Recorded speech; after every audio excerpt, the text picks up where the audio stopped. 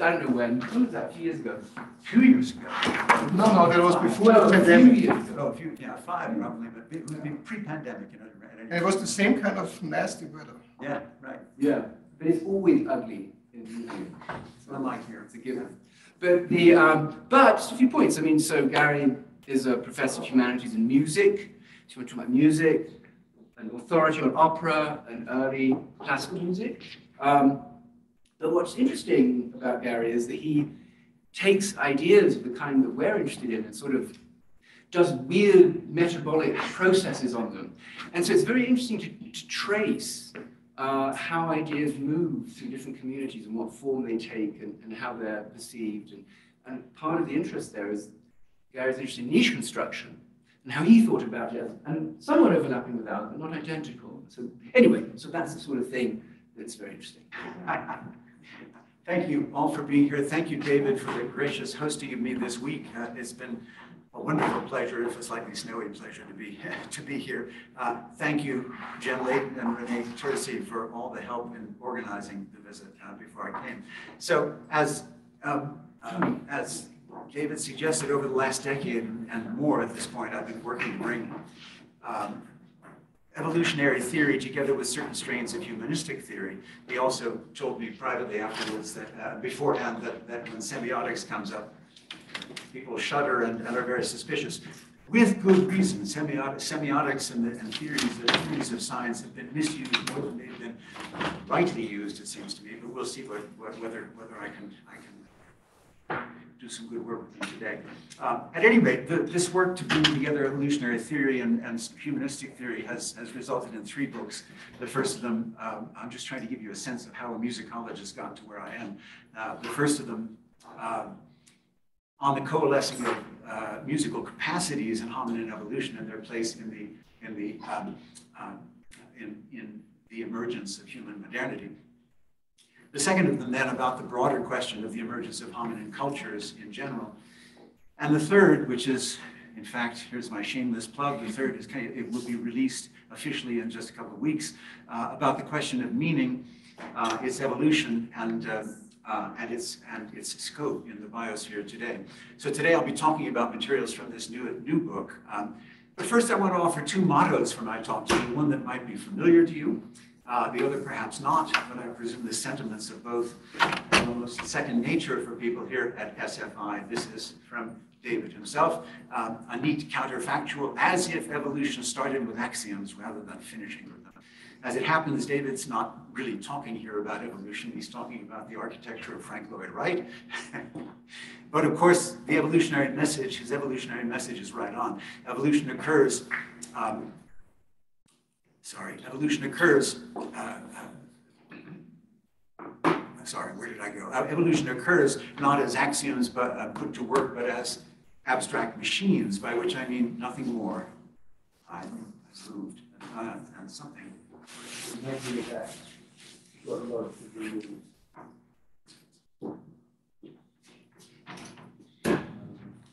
Let's see. It's been around three times. No, we, we, we run and gets caught, and by the time he comes in, it works again. Scott is coming. Did you say Scott or God? Scott, well, is there any difference? Um, Abstract machines, evolution working as abstract machines, not as axioms, uh, by which uh, abstract machines, I mean uh, a sets of conditions that, when in place, um, result in processes.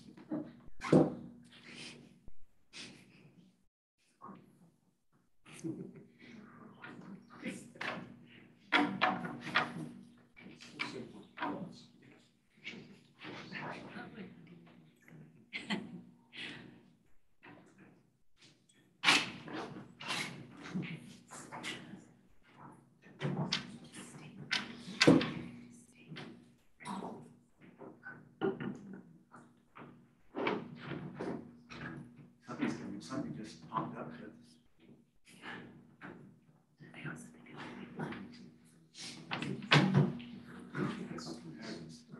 Yeah, it's very good. I'm crawling, crawling into a box. Something goes wrong every talk. I know.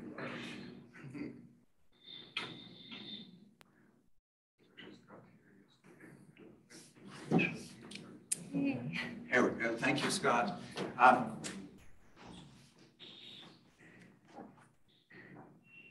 And of course, it was Darwin's great enduring achievement to perceive an abstract machine where next to nobody else in his time could, next to nobody else except Alfred Russel Wallace, of course. And so his abstract machine, the condition one, number one was inheritance, condition number two was variation, condition number three was limited resources, the process, of course, natural selection.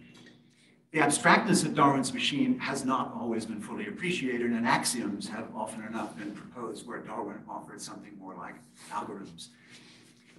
My second motto comes from Algerian French philosopher Jacques Derrida. What I can never understand in a structure is that by means of which it is not closed. And if there's any single statement that marks the, the transition from structuralist thought to post-structuralist thought, um, it's this one.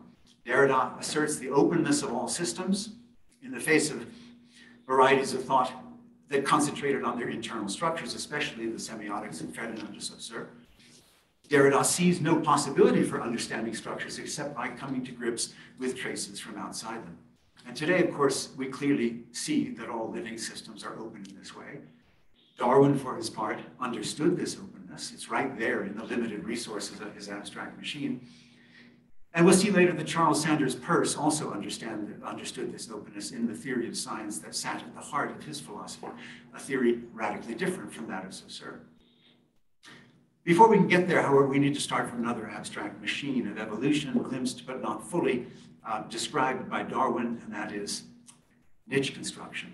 Niche construction, which could still in 2003 be characterized as the neglected process in evolution by Odling, Smee, Laland, and Feldman in their classic study. But niche construction hasn't, hasn't stood still since 2003, and the changes in it are what we need to focus on. To review quickly, Niche construction theory takes on the shifting environments of organisms in a way that population genetic modeling in 20th century evolutionary thought tended not to do. It builds into its analyses the feedback relations whereby populations of organisms alter their environments, constructing their niches, and thereby alter the selective pressures on those populations, or for that matter, on other co-evolving populations. Niche constructive analyses have tended to adopt the population genetic quantitative tools of the mid 20th century, those things descended from the Fisher, Haldane, and Wright tradition. And niche construction theorists like Odling Smee, Laland, and Feldman have adapted these tools with new simply by adding new variables representing environmental resources to the equations. By doing this, they attempted to bring the changing selected terrain into equations where they had formerly had little or no place. So niche constructive modeling at first attended to whole populations of organisms across long time spans. And in this form, by about 2005, niche construction theory had come to be a major plank in the so-called extended evolutionary synthesis.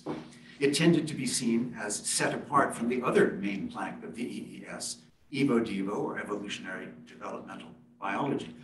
But this changed over the following decades. As Evo Devo scientists describe mechanisms by which gene expression is altered on a moment-to-moment basis in individual organisms interacting with their environments, the gap between the organismal development of Evo Devo and the population genetic dynamic of niche construction theory closed. Here, uh, we approach an asymptote of sorts, where the evolutionary dynamic of niche construction and the on, on, ontogeny of individual organisms merge.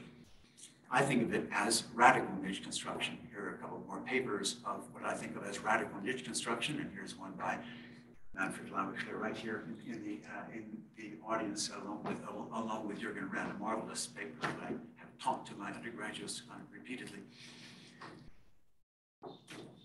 Radical niche construction attempts to chart across all timescales the plasticity of niche constructive feedback and its impact on natural selection. Niche construction in this view is not only a long-term process, in other words, but also the responsiveness at a much smaller timescale of, of, of organisms to their changing environments. And the plasticity involved reaches from the niche all the way to genes, the expression of which is in constant flux with the environments around them. which is to say niche construction happens one organism at a time. Gene expression is a niche dynamic. So let me now shift from radical niche construction to the second of my main topics today, the question of information, specifically biotic information. A very, very large question, which I will take on in one specific way, trying to make a distinction that has tended not to be made.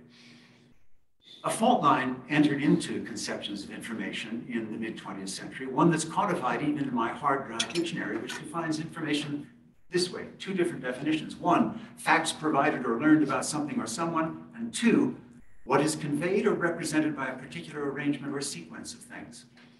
Now, the first of these is colloquial and obvious, but the second likely to seem opaque to those not versed in information theory and Shannon communication theory. But the second is far more basic in ontology and evolution than the first one is. It describes a kind of information that philosopher Jerry Fodor, I don't often quote philosopher Jerry Fodor, by the way, because he gets his evolution dramatically wrong, but he gets on some other things rather right, it seems to me. Um, this kind of information was once called by Fodor reliable causal covariance. In the living world, its archetypal instances are RNA transcription from DNA and protein formation in ribosomes. But we can look at all the regulatory processes described by Evo-Devo biologists as causal covariance information. And we can carry this view all the way back to the autopoietic systems envisioned by Maturana and Varela and theorized right here at the Santa Fe Institute back in the 1990s by Stu Kauffman and others.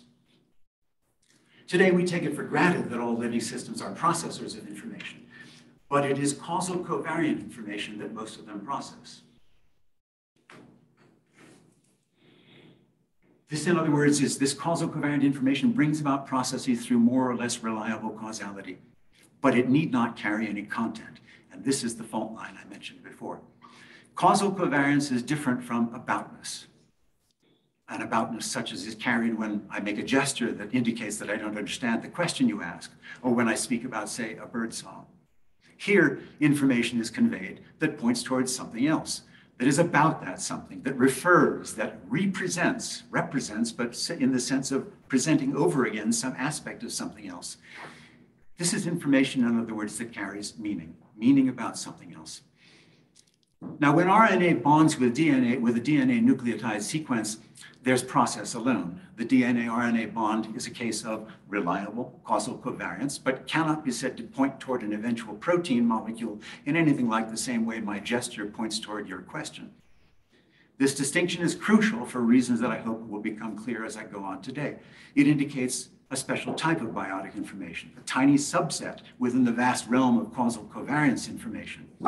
Or let me put it this way the biosphere is founded on causal covariance information above this foundation, some very, very few organisms have attained the capacity to add a superstructure of aboutness information, information with content.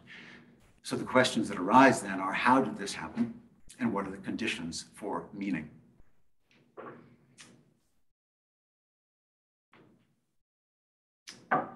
And this takes us to semiotics. Because signs are the fundamental particles of aboutness, as we might say. They always represent something else. They are always signs of. But like an atom, a sign hides a complex substructure, or better, in fact, a, a, a, a complex subprocess. And it's through this process that aboutness comes into the world. Of the many theories of signs, the process is best described in the semiotic theory of Charles Sanders Peirce. So in the sign process, some aspect of one percept points toward some aspect of another percept. The first of these Peirce termed the sign vehicle, or more often he simply called it the sign. The second he called the object. The sign object relation is a perceptual one because the aspects of sign vehicle and object that are involved in it call from the perceiving organism an engagement according to its capacities. This engagement is reciprocal. It intersects with the sign object relation such that it helps to determine the aspects that are involved in that relation. Peirce called this, uh, uh, this, uh, this third aspect the interpretant. So the sign as a whole looks like a three part structure sign vehicle, object, and interpretant. But this isn't, isn't quite right because it makes the semiotic process look like a crystalline structure. To restore the processual nature of semiosis, note first that the interpretant is a relation not to either the sign vehicle or object, but to the relation between sign vehicle and object. It is a, it's a relation to a relation, in other words, it's a meta relation. And there's more. The semiotic process involves three dynamics of perception aspects of one thing, aspects of another, and perceptual capacities called into action by them, but also delimiting and determining them, the reciprocality I mentioned before, the. The process is not only uh, meta-relational, but once more, reciprocal. To see this, take the example of a cave painting of a woolly mammoth. In an obvious way, the object, the real mammoth, constrains by its nature the aspects that are part of the sign vehicle. Tusks, shape of shoulder and back, trunk, even the woolliness is, is, uh, is uh, evident in this uh, painting. In a slightly less obvious way, only certain but not all aspects of the mammoth can be picked out by the painting. These are determined and constrained by the nature of painting itself, the nature of the sign vehicle, determining the aspects that can come from the object and be involved. Scent, for example, can play no role here.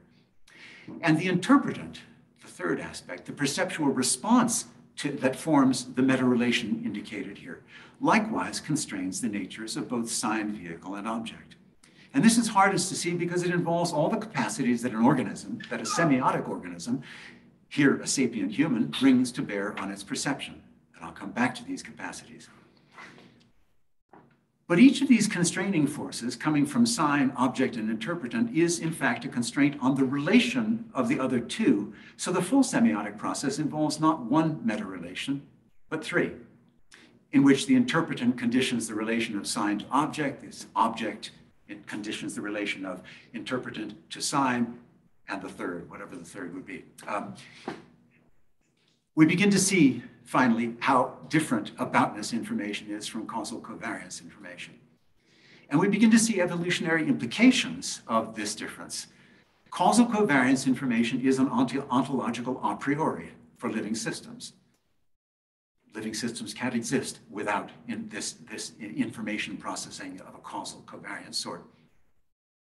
But aboutness information is not an ontological priority, instead, uh, an ontological a priori. Instead, aboutness information is an emergent process enacted by certain organisms with certain evolved capacities. It's a process enabled by the niche constructive evolutionary histories of many kinds of organisms, but nowhere found in the histories of many, many more organisms. It's a process unfolding in the microtime of radical niche construction in the ontogenies of all semiotic organisms. So what are the capacities that enable this process and how do they arise? In order to talk about this, let's look just a little bit closer at, the, at, at signs, specifically at the most famous typology of signs that Peirce offered, one that I expect you've all uh, come across. So the interpretant, once again, fundamental term in Peirce's philosophy, involves no interpretation as we tend to use the word. To think that it does is an error often made. Instead, it relies on the perceptual capacity to divide up the world, to parse or analyze the world, registering some of its parts, clumping some together with others, and relating itself to those relations. We can see that this in the most famous of these of the typologies of signs that Peirce offered, and it's a mapping in this case of the ontological possibilities of the relation of sign vehicle to object as these are conditioned by the interpreter. In the first, an icon. An icon is then a sign uh, uh, that shows a qualitative re resemblance to, to its object, uh, but it's a sign in which the interpretant picks out a qualitative resemblance in order, in order to bring the signifying process to, uh, uh, to fruition. In an index, the interpretant picks, establishes a pointing, indicating, proximate, or causal relationship between sign and object. And in a symbol, the most complex kind of, of, of semiosis, the interpreter establishes a systematic relation, law or rule governed. Most famous instance of this is human language, and arguably symbols are limited in the world today to humans and perhaps a few animals that they've trained. Arguably, there might be some cases that, that, uh, that, that uh, uh, of, of incipient symbolism in non-human animals. Humans, of course, constantly create all three kinds of signs. but for several reasons having to do with the abstraction involved in fashioning a true icon and the systematization involved in and conventions involved in symbols, the signs of most non-human semiotic animals in the world today are indexes. This is the kind of sign that's in most direct uh, contact with its object. But an index is already a very complex form of semiosis.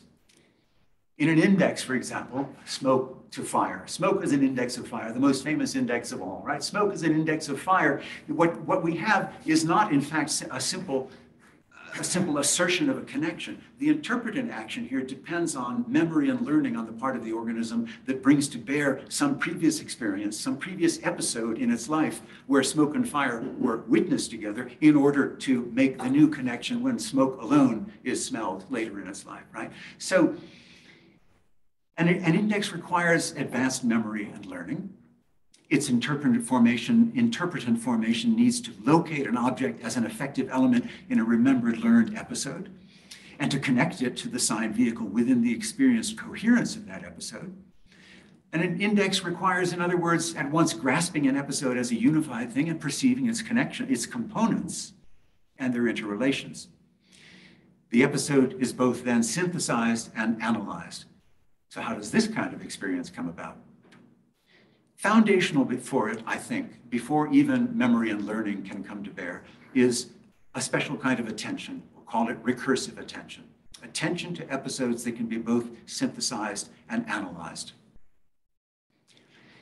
Now, attention in its most basic form is simply the capacity to focus on, indivi- on, on certain individual stimuli among all the stimuli that are bombarding an organism at, one, at any one moment, so as to give those specific stimuli particular salience salience attention is dispersed through huge numbers of animals in the world. But more complex recursive attention is different than this and it's been modeled by Eric Knudsen, a neurobiologist recently retired from Stanford. Recursive attention results from reciprocal circuits incorporating both bottom up and top down input and constraint. These, it involves, first of all, sensory neurons acting as salience filters. This is the bottom-up filtering, which pass along, work, uh, pass along input to working memory short, for short-term storage. But what gets passed along and how it is stored, in fact, then is, is conditioned by top-down constraints, top-down constraints from memory and learning. Gary, These, yeah, sorry, go ahead. Can I interrupt? Yes. So um, I'm a little confused there because Peirce describes the index as firstness, and it's um, observer independent for him. Now, there, so there is a uh, causal covariance quality to the index. So all indices have to be Absolutely. physically causal. Absolutely. Right now, it's true that we then impose above them mm-hmm. memory and so on. Mm-hmm. mm-hmm. But there is something there that's much closer to the to the. Oh yes, but but keep in mind that that that the what I, the semiotic information that I'm describing is simply an outgrowth of causal covariant information. Um, it is it, it is necessarily predicated on causal covariant information at all times. But the causality of, of, the, of the, the specific causality of, that is involved in the index is now not simply causal covariance bringing about a process. It is causal covariance that is now being recognized through some sort of, some set of perceptual mechanisms. And I don't think it's quite accurate to say that he identified the index with firstness. The question of firstness, secondness, and thirdness in, in Peirce is many of the is one of the many deep issues in Peirce that Peirceans keep arguing about exactly how it is. But to simply map it on, map firstness onto the index is I don't think I think. Yeah, no, just to say that after spending time with him, it's clear that first you think of him as a Saussurean. Right. And this is all uh, observer dependent, subjective stuff. But then after a period, you realize it's actually a theory of the abiotic universe. And so for him, I just want to point out that uh, he also thought of it as a physical theory, mind independent theory. Mm-hmm. I mean, I'm not saying it is, but that's all right, so this is this is deep water, right? And and Peirce Peirce went through any number of different shifts along 35, 40 years of his career, thinking through issues of uh, semiotic uh, issues. making it a theory of the abiotic universe or the uh, all told is is a very very late stage and a very very fragmentary stage in his thinking right it is it is it has been seized upon by uh, by people especially people who want to see semiosis extended through the whole cosmos of information. And i think it's been seized upon wrongly um, uh, and it has been then overemphasized as a part of Peircean thought. Um, uh, in any case I'll, I'll, I'll, come back around to some of these issues a little bit later um, uh, but you know, the business of interpreting Peirce, there are something like 100,000 pages of manuscript pages in, in, in, the Harvard archives of Peirce's papers, uh, only a small portion of, that, of which have been ever published. Um, the business of interpreting them is, is an ongoing and huge enterprise. Um, uh, what I'm trying to bring here to bear here is what, what has emerged in a neo-Peircean move over the last 25 or 30 years as the most reliable kind of core of his semiotic theory. Um, so this is, this is, uh, but you know, the, again, um, uh, observer dependence is, is, I think, the phrase that you mentioned a, a, moment before. I'm sort of not thinking quite about it as observer dependence because that almost sounds like a almost sounds like a humanist kind of kind of proposition. I'm trying to think about it in terms of of, uh, of capacities that enable the parsing of the world such that the interpretant relation can come about. Right. So go ahead, Matt. So not that I claim any complete overview of this Peircean literature, but to some extent there's one strand of it that say, but why in the later Peirce, exactly what David pointed out, that he was thinking more evolutionarily at that and then it becomes sort of an interesting question because based on what where you're driving this now. Mm. So well, wait a second. Of course, I'm driving towards the evolutionary Peirce. I'm yeah. absolutely going in that direction, right? Yeah, but then sort of the, the, the question is, and I think we had this argument about your manuscript. So yeah. how far how when we when we talked about your manuscript, so mm-hmm. how far do you actually want to get the, the observer into down the evolutionary ladder right. and into the natural world. So where is the sweet spot of the shift between? So I'm setting you up now. Uh, you're setting me up. Let me let, let you. We'll, we'll get there. I mean, exactly exactly the question of the question of a borderline a fuzzy borderline or a sharp borderline between the semiotic realm and the non-semiotic realm of biotic complexity. In each case, awesome biotic complexity. That's an issue that I'm coming around to. Okay. Just a quick question. Yes. So in terms of the motivation of this talk, I'm wondering if the in terms of the the motivation of this talk, I'm wondering if um, what you're after is trying to more accurately decode Peirce, so to speak, or you are trying to leverage Peirce to understand evolutionary dynamics better. These are two different projects. The second. The second, absolutely the second. Seems um, right now more like the first. Okay, give me, a, give me, a, give me a few minutes more, all right? And, and if at the end it still seems like the first, tell me so. Yes, by all means. Um, okay, um, so we were talking about recursive attention and the nature of recursive attention. The takeaway of this uh, of this question of recursive attention is is that it it it absolutely it seems to depend on on both the, on on the, the kind of top down and bottom up um, uh, uh, interaction of, of, uh, of, constraints and controls that in fact depends on um, that in fact depends on brains or neural systems of some sort that are stratified, that are di distributed, that are diversified in various ways. Um, in this case, um, uh, the, the, uh, the, the most blunt kind of distribution here has to do with sensory receptors uh, low down in the brain, so to speak. The thalamus seems to play an extraordinarily important gateway, mecha- uh, uh, gateway uh, uh, part of the brain for both. Uh, for both the top-down and the bottom-up um, input, um, and of course then the, the cerebral cortex, where the, where the, the, the crucial memory and, and learning might be happening.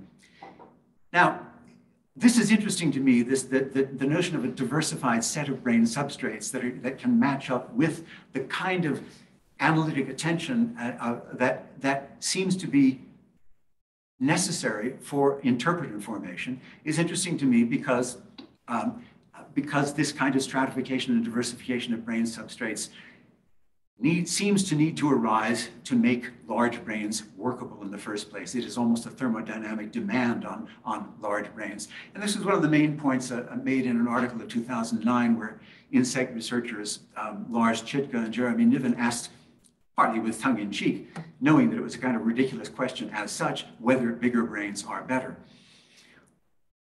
There were serious issues that they were getting at, and the issues at stake uh, have to do with the differences, say, between a bee's brain, a honeybee brain, and a bird's brain.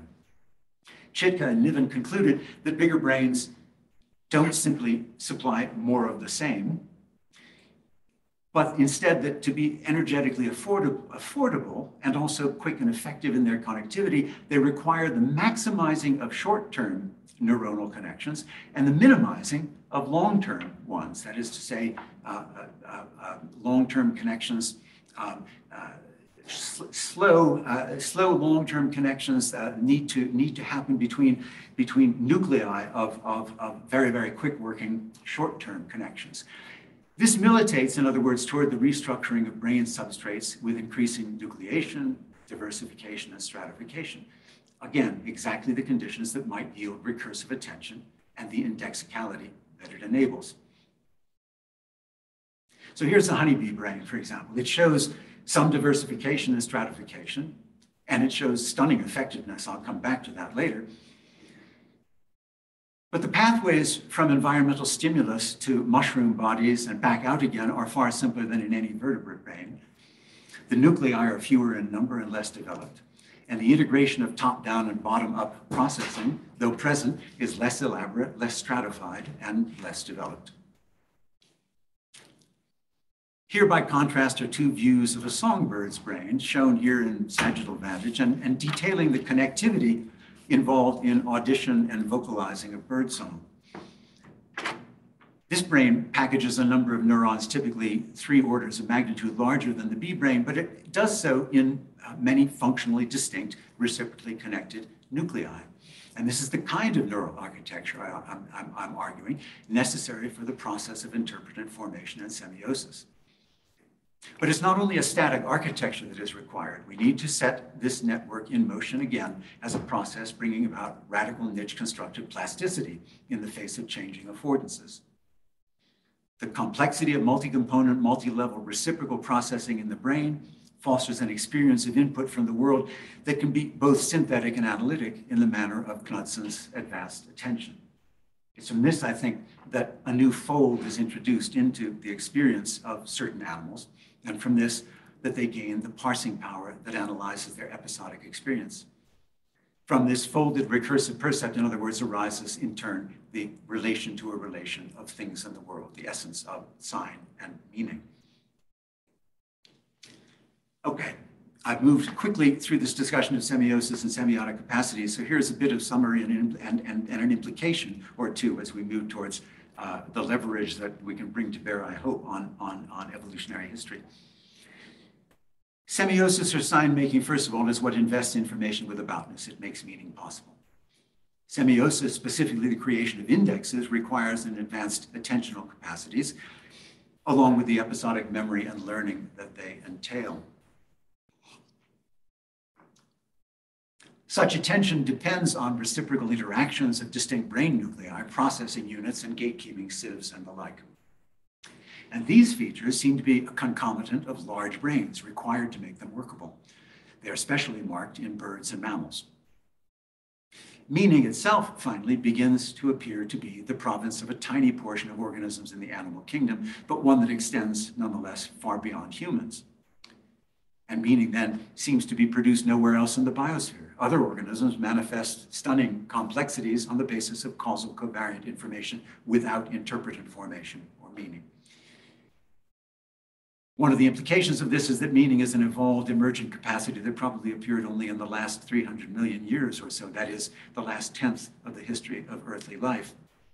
Another implication is that we can imagine, perhaps we'll even find soon, other thriving biospheres elsewhere in the cosmos where meaning never appeared at all. It is not an a priori for life, um, con uh, causal covariant information is. So let's put this general model of semiotic and causal covariant information to work and exemplify both meaningful and meaningless biotic complexity. And this, I hope, is getting at the borderline that Manfred was asking me about. The semiotic example involves the pseudo-duetting Australian magpie larks. Mated pairs of magpie larks sing duets in which the two birds synchronize and create songs that are different from their solo songs. The meanings conveyed by magpie lark's duets depend on the pair-bonded bird's coordination being perceived and engaged by potential rivals for mates and territory.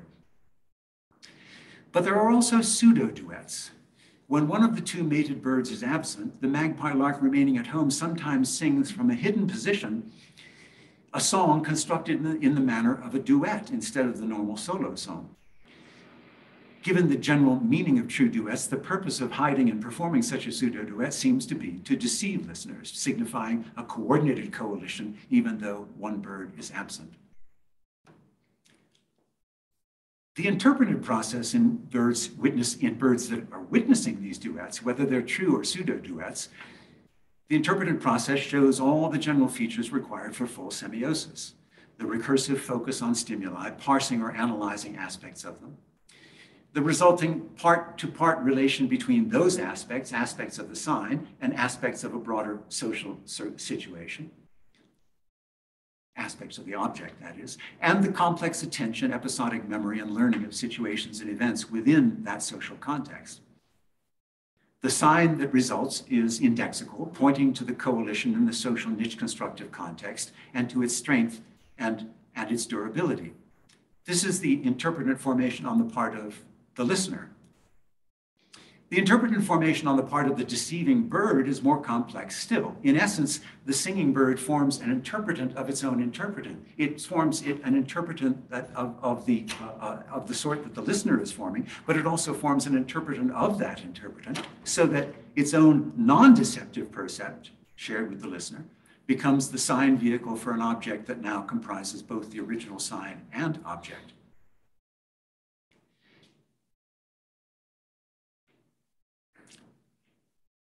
Complex interpretive formation is at work in this indexical, uh, indexical signaling or, or, or signing.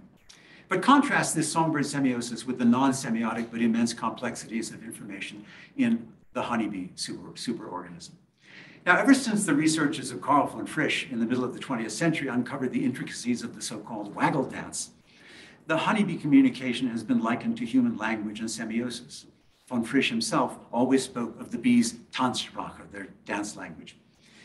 But bee research has moved awfully far since von Frisch's day, and many aspects of bees' communication are now followed right down to the molecular level. The general import of this research is that superorganism sociochemistry involves sensory cues, mainly chemical and mechanical, that are connected through short, direct neural pathways to stereotyped responses. But this is not meant to underplay the awesome complexity involved. The cues are integrated across sensory modalities in the information processing mushroom bodies of the bees, of individual bees' brains. Memories, long-term but not episodic, are cued and retrieved in this process, especially in the case of bees that already have foraging experience. And the chemosensation taps into the pheromone cascades modulating gene expression that are a, a, huge part of, of the regulating of the whole colony, affecting thousands of bees. All this, in other words, regulates niche constructive economies for provisioning and protecting the hive and nurturing its brood. But what we see at work in all this are immense, intricate, beautiful, finally awesome networks of causal covariance information. There are no signs, no meta-relations, no interpretants, and hence no meaning. Even the waggle dance performed by a returning forager doesn't operate through signs, symbols, or anything language-like. Since von Frisch, it has been customary to think uh, that the waggle dance conveys information to other foragers of three kinds, the direction to a source of nectar, the distance to it, and the quality of it. But in the first place, the strength and clarity of the information has been undermined in recent researches. For example, those suggesting that experienced foragers in the hive don't watch the whole waggle dance and learn something from it, but only a small portion of it, and then set out to sources they already know rather than to the source the dancer returned from. More importantly still, even what information is conveyed is not a matter of signs like those conveyed from one magpie lark to another. We can take as an example here one of the kinds of information conveyed in the waggle dance, information about the quality of the source. This is supposed to be indicated by the number of waggle runs in a complete dance, the number of times the bee goes up and around. Each of those a waggle run.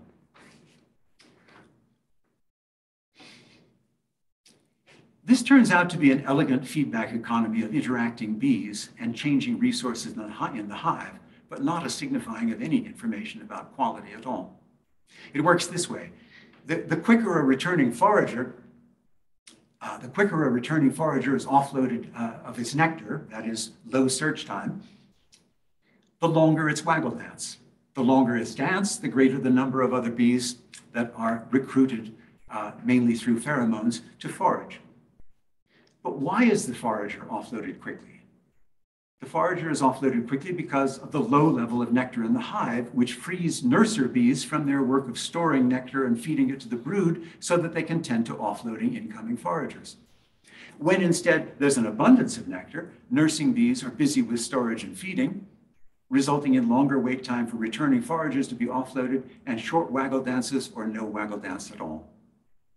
This results in fewer recruited foragers, which are not needed in this time of abundant nectar. And this whole feedback cycle is also connected to another one involving a different behavior on the part of a forager not offloaded, and that is when high search time can often result in a tremble dance. This tremble dance, in a tremble dance, the, uh, the, the uh, um, uh, forager who has not been offloaded moves through the hive, spreading pheromones that also seem to inhibit the recruitment of foragers. What aboutness or content or meaning is conveyed in all of this? None at all. There's no report on the quality of the forager's source. Instead, there's a transmission of crucial causal covariant information among hundreds or even thousands of bees. The other kinds of information supposedly conveyed in the waggle dance, distance and direction to source, are indeed conveyed, and they require somewhat more complex explanations involving such things as inbuilt sun compasses and optical flow measurement, very widely dispersed mechanisms in insects, but they too are instances of immensely intricate transmission of pure causal covariance. They don't need any semiosis for the information uh, conveyed. I'm struggling to understand why this criticism or limitation of honeybees, which I don't disagree with, doesn't apply equally well to the duetting birds. Doesn't apply equally to the duetting birds. I mean, there's nothing more complex in what they're doing than this that I can see. But there is a percept, there is a percept formed that is not formed here. There is a percept form that is that is a percept that connects that connects the preceding bird, the listener, or indeed the producer of the song, that connects out to a whole episodic social situation. There's nothing like that here, and that is the crucial defi- that is the crucial definition of, of, of the interpretant as I am developing it here. It is the episodic learning, the episodic memory, and the episodic experience that can that can be then tapped in forming a percept of some incoming thing that will then connect it to that experience as, as its object, signed to object. How is it known that they have any episodic memory? Oh, yes, well, there, Melanie, there, uh, there's a large literature on episodic memory and non-episodic memory. Um, the, the experiments on birds that uh, go, they go back to the late 1990s when, when caching habits of certain birds and so on um, uh, started being looked into in great detail. Um, I discuss this in the book. There's a large literature on, um, on the question of episodic memory beyond what episodic memory is and how far it extends beyond humans in the world. Um, it extends, the, the, the, the, more it's been looked at, the more it, it seems to extend out well into the, the avian world and well into the mammalian world. It is very, there are very slight signs of it yet in reptilian and amphibian worlds. And the, all of the recent research on honeybees um, uh, has turned away from the notion that there is anything, well, I shouldn't say all the recent. Uh, the recent research on honeybees, as I read it, is, is, is absolutely turning away from the notion that there is anything like episodic experience involved in their cognition and their interaction with other bees. Um, uh, there are those who still are defending the old Karl von Frisch kind of waggle dance, uh, you know, which, which does involve, would have to involve semiosis and all kind and all of its entailments that I'm talking about here.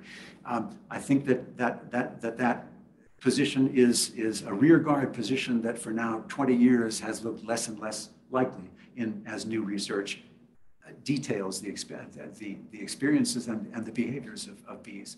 Um, so the question of um, you know the question of episodic cognition, episodic memory, learning, and so on and so forth is one of these questions that ethologists have been dealing with for now three decades. Um, uh, they are, they are, uh, you, you need to go to the literature and, and check out the, the experimental evidence by which they, uh, by which they sort through these things. Um, uh, as I read it again, it is separating very, very clearly experiences, cognitive experiences on, of mammals and birds from cognitive experiences of all other animals, not to mention non-animal organisms. Um, One more question. yes, please.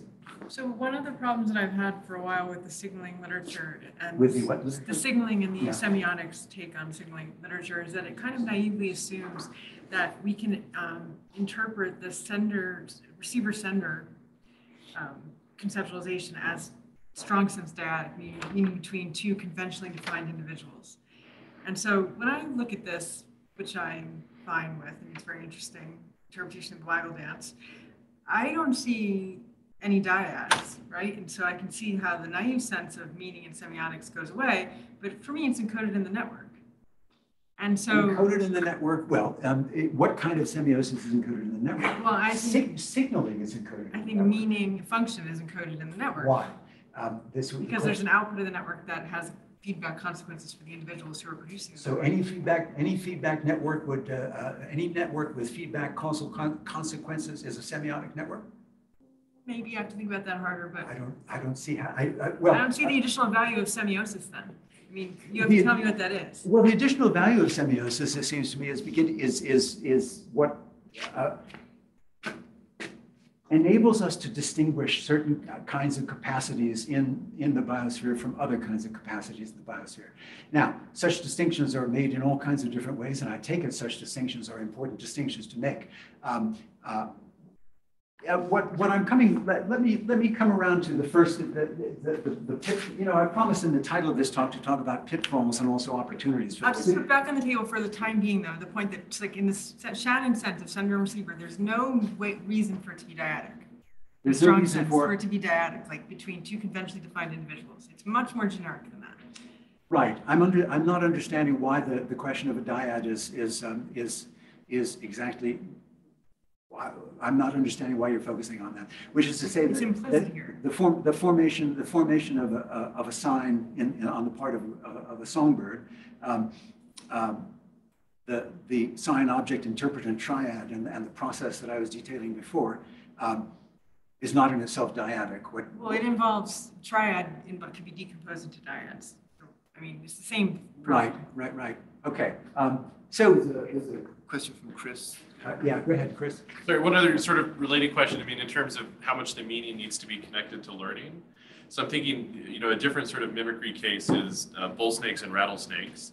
So bull snakes and rattlesnakes are equally abundant in environments, and bull snakes have a behavioral way to mimic rattlesnake by putting their tails in leaves and rattling around.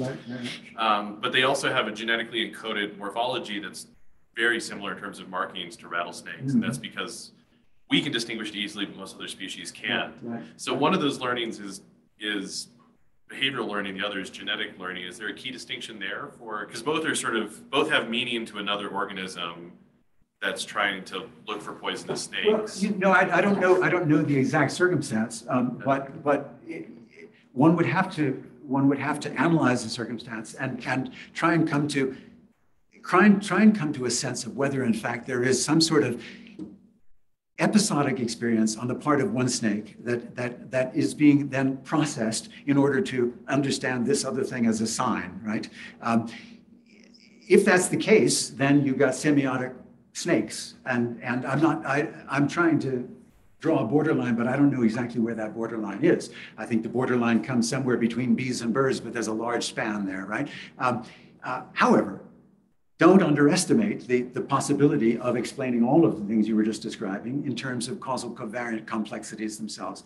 You know, you look at the bee superorganism and it's absolutely unbelievable. It's, it's clear how it could, it, could, it could fool humans for the whole of the later 20th century into thinking that they have language, that they have symbols, that they have all kinds of things that it seems now that bee cognition cannot support, that bee systems don't need to support because there are better explanations and clearer explanations that, that come closer to what we understand about bee cognition. Uh, so um, again, I can't, I can't speak to the individual case, but the case could be, could point in either of those two directions. Gary, but Chris's question just so I understand where maybe I'm also confused is that, and this is a longer conversation, I think, but Chris was suggesting that one of the crucial demarcation criterion for semiosis, according to your account, mm-hmm. is evolved strategy versus learnt. So you keep using the word episodic memory and episodic mm-hmm. learning. Mm-hmm. So is that for you the key demarcation criterion? If it's evolved and hardwired, so to speak, then it doesn't count as semiosis. But if it's learned, it does. No, no, because the capacities, the capacities that I'm talking about that support semiosis are hardwired capacities, right? But they result in, uh, in different possible experiences of the world. They result in a different kind of momentary niche construction than, than, than other hardwired capacities that, that result in different kind of niche construction. And I'm trying to make a distinction, finally, an, an ontological distinction between the world in which, in which um, uh, causal covariance can manifest itself in huge biotic complexity and the superstructure of a different kind of information that some organisms build on top of that. It's not that they abandon causal covariance, but they build on top of that a different kind of information processing. That different kind of information processing seems to be important for a number for a number of reasons, but if I, I that I'm just going to now come to as I conclude. If can I, and the conclusion might or might not address the questions Just to put it in simpler terms, you know, it's like there's encoding, decoding, function, or to, to go back to Weaver, there's function, what was it, what, what are the three? Um, function, you know, in Well, Weaver, in- in- He had information, behavior. behavior, function, and, and, and, and uncertainty. Anyway, the point is, is that it seems to me what you're adding here, you're just, or you're highlighting is the importance of the decoding part is stochastic and there can be different interpretations and consequently the mapping from decoding to function is noisy. That Yes. seems like a way of summarizing this whole talk. The mapping, because each of us have different decoding apparatus in our brains or wherever, and hence there's a possibility of different experiences. This means there's stochasticity, and so the mapping between decoding and function or Mhm. behavior is noisy. That seems to me the point of this talk. So- Which is a good so- point, fine. So, so, but the, but what you're leaving out there is, is what seems to me a very, very important categorical distinction which is- in, in, which is the distinction between, between the capacity to form the whole Peircean semiotic structure that I, that I've been, uh, and, and, and process to engage in that process, and a different capacity that is about, that is about, uh, that is about all kinds of informational complexity and interaction. That's what I don't buy, because I think, and I think a lot of people have a hard time, including, I mean, I work on this, but it's a hard topic, it's not worked out, there's not words to describe it yet. But a lot of what I'm talking about is just that a lot of what you're saying can be done at the network level too. Yes, And of so course, yes. that's when you're saying like, Yes, yes, yes, yes. Uh, it can be done at the network level, but that doesn't mean that it is done at the network level. It can be done at a different level as well. Just, I think this is Melanie's obsession with the Ulam, Gian-Carlo Rota, barrier of meaning question. I don't think it's about degeneracy and stochasticity. I I Oh, think what Gary wants to points. understand There's two separate where does meaning suddenly emerge?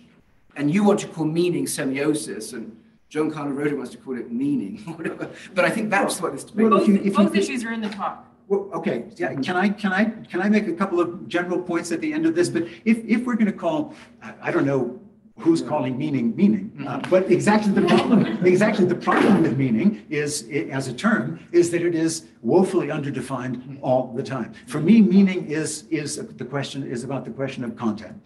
The question of content is about the question of semiosis and signs because that's where content emerges first. However, let me, let me finish with a couple of things that, uh, a couple of what I see as the pitfalls um, uh, that, that have marked, in fact, semiotic, biosemiotic approaches. First of all is the flattening uh, or the closing of the semiotic process. That is to say, if the semiotic process is flattened from the three-part process with interpretant down to a two-part process of sign and object, then in fact you, you can expand. Then semiosis becomes essentially um, synonymous with, uh, uh, with causal covariance. And so signs are everywhere in the cosmos. This is John Maynard Smith's position in his, in his work on uh, biotic information, for example. It is most the, the position of most of the biosemioticians of, of uh, northeastern Europe, who where the, there's a thriving field, and they extend semiosis all the way down to the, the encoding of RNA with uh, and, and DNA. Um, uh, what is missing there, it seems to me, uh, you know, there is a there, there are categorical differences and borderlines that simply, well, let me put it this way: we can call meaning all, we can call all, all causal covariance meaning. But as in defining any of our terms, once we do that, we, we sacrifice a huge amount of leverage that might point out differences in the world, some of which, uh, uh, some of which might more meaningfully, meaningfully be called meaning, right? Um, so, so the first is the flattening. That's the first problem. The next one is the confusion of sign and signal. Signal, signal is a word that is used uh, uh, promiscuously in the life sciences. It's used to mean any number of things and, and, and any number of different things. Uh, now, it's a wide enough term that, that it might be synonymous with all causal covariance, perhaps. It's certainly a wide enough term that I would say all signs, in the term, in the way I'm thinking about them here, are signals. But not all signals are signs, because not all signals are, are, uh, are, uh, involve the semiotic process, once again. Here's another problem, the confusion of sign and symbol. If the confusion of, if the flattening of the process and the expansion of semiosis through the cosmos, we can call that semantic universalism, is what I call it. I think it's a mistake. Um, uh, I think it's a categorical error, finally, in terms of the kinds of certain kinds of biological experiences in the world. But there it is, semantic universalism. And but however, when you when you conflate sign and symbol, symbol is a word that is often not properly understood. Um, it is seen to be the same as a sign. Um, for Peirce, of course, it was one of the types of signs, a very special type of sign, a very rare type of sign, perhaps only a human type of sign. Um, but when we fold symbol and sign together, what we get is sort of the opposite of semantic universalism. We get humanist parochialism, whereby, whereby um, all meaning in the world comes to look human-like. All meaning in the world comes to uh, comes to um, comes to seem uh, to be like human language, for example, the foremost symbolic system uh, that humans manifest. Um, this finally robs any number of non-human uh, uh, non-human organisms of, of huge ranges of their own experience. It seems to me.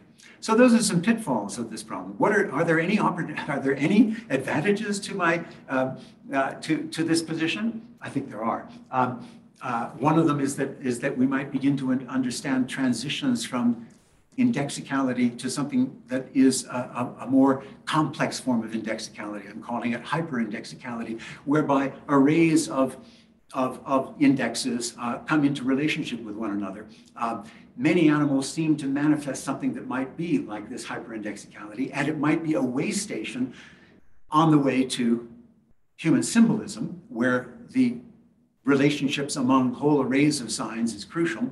Um, we can think of the click codes of sperm whales, the, the songs of humpback whales, many kinds of bird song, and perhaps the techno cultures of chimpanzees and bonobos. All of these might be instances of what I'm thinking of as hyperindexicality. Um, why is this interesting to think about hyperindexicality? Well, again, um, it, it, it might help us to understand better the evolved capacities, all of them evolved capacities, right? But the evolved capacities that, that enable semiosis. I, I, the, the, the sketch that I've given of recursive attention here is, is only scratching the surface. Um, I've done more in the book, but there's a huge amount more to be done on research that has already been done on animals, and there's a huge amount of research yet to be done as well the transition to human modernity is something that we might be able to put in better focus. Um, they, uh, you know, when people talk about the, the evolution of hominins to, uh, to sapient humans, they are caught up with misdefinitions of symbolism all the time. You ought to read the archaeological literature on it. Maybe some of you have. Um, it, it, is, it is naming things as symbolic without even attempting to define what symbolic might mean. Uh, what are the processes? The question of whether our, for, when uh, hominins became uh, uh, symbolic animals is something that, that uh, Terry Deacon took up in, in his book, The Symbolic Species of 1997. But Deacon himself has turned from that in a different direction in, under, in Incomplete Nature, the big book of 2012. Mad. He's gone off into, well, he's gone off into semantic universalism. You know, he's talking about one molecule interpreting another molecule, literally in those, in those words. Um, uh, so putting, the putting into context the transition, discerning or delimiting the border of semiosis in the biosphere, is this important? Maybe it's not important. Maybe this is all an illusion that I am creating here, but Go ahead. It's not that it's not important, it's just that I think it can be stated more simply. So for example, in the, the hyperindexicality point, which is, you know, an interesting compositionality point, I think you can restate this um, to apply to other kinds of signs as well. Like, how do we move, what are the mechanisms by which um, animals, for example, move from a referent that's temporally and spatially um, uh, present, co-occurring with the signal, to a referent that is temporally or spatially divorced from the, to the, All the signal, that's a to- fantastic question. to a referent that is spa, that is abstract. So that's a very simple way of stating all of this. Well, wait a second, wait a second, but, that- but, but maybe it needs a statement that is not so simple in order to get some, some deeper Well, I understanding think of the it. mechanisms, we, I think think there's not enough attention to the mechanisms, and it could be like, I like this idea that you might take a bunch of index, indices and sort of um, compile them together and in that way generate potentially an abstract concept. So, so let me, so let me But- talk a little bit more about what hyperindexicality might look like. Um, the, the, the reason that, that animals in the, in the wild don't do iconism of the sort that, that mammoth painted on the wall, uh, cave wall represented, is because of the abstraction that is necessary in order to get there. In other words, that painting is entirely distanced from the real life mammoth. I'm not sure it's harder, actually. Say I don't again? think that's well understood. I'm not sure it's, I don't, whether, why they don't do, why don't we, why we don't see so much evidence for this in the natural world, I don't know, but I'm not sure that it's actually harder. I'm, I'm not talking about how hard this is or how easy this is, right? I'm- Well, the that- symbol point would imply that. Okay, um, but, but hyperindexicality is, it seems to me a moment at which, at which, at which arrays of indexes can begin to form so as to point it to one another, so as then to begin an incipient rule governance of the sort that, that symbol, symbolic um, signification requires, um, number one. Uh, but it also, in, in, in those arrays, what, what, what one is beginning to get is some sort of incipient abstraction that is iconic like as well. So, so a hyperindexical system is, is, is both borrowing from some kind of abstracted experience that is iconic like, and also then building in some sort of array systematic experience that might be proto-symbolic, all right? That's, and I- that's one way of describing what I'm thinking about as hyperindexical. Um, but, you know, again, delimiting borders of different kinds of experience and uh, of, of, animate experience, of biotic experience in the world seems to me an important enough topic. Um, I, I think that what has been gained by people trying to describe describe it simply in terms of informational science encoding and decoding and so on and so forth has time and again resulted in semantic universalism. It has flattened the world into a place where either everything is semiosis or nothing is semiosis. And that, it seems to me, is a problem that, that, uh, that, that I'm trying to work against. One more advantage, maybe it is an advantage, or maybe you simply, uh, it, it simply doesn't look like it's real at all. Um, if there is this distinction between causal covariant information as the ontological substrate of all life and some other superstructure of meaningful content information on, built on top of it. If such a thing exists, then it means that, that in fact there is a major transition in evolutionary history that people have simply missed. Eörs, Szathmáry, and, and Maynard Smith, they talk about uh, they, they talk about human language as the final as the final of their major transitions. This is simply, it seems to me, a limited, a humanist parochialist position, right? What is important is understanding when content comes into experiences in the world.